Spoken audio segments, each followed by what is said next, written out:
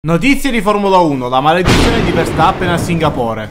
Paura, eh? Ci stiamo cacando sotto! Il pilota olandese sembra immune a tutto, anche alle maledizioni, e dopo aver spezzato quella di Monza, Verstappen arriva a Singapore con la prossima impresa da compiere qui a Marina Bay. Max Verstappen non ha mai vinto qui a Singapore, il 2023 sembra quanto mai l'occasione adatta per colmare questa lacuna. Il pilota olandese un anno fa compromise il weekend per un pasticcio in Q3, da parte del muretto Red Bull a livello di calcolo della benzina, e non riuscì a risollevare la corsa partendo poi dalla quarta fila. Sergio Perez fu secondo in qualifica e prese la testa della corsa in partenza, per poi non lasciarla mai più fino alla bandiera a scacchi. E voglio ricordare che qui a Singapore debutterà sia la nuova direttiva TD018 di cui ho già parlato in un mio video, che ha come obiettivo quello di tappare un po' le ali a quelle vetture che utilizzano le ali flessibili, scusate il gioco di parole, come può essere per esempio la Red Bull. E qui debutterà anche un nuovo layout della pista, che siano questi i due ostacoli che faranno abbassare un pochettino la cresta alla Red Bull e a Max Verstappen? Fammi sapere la tua sotto nei commenti.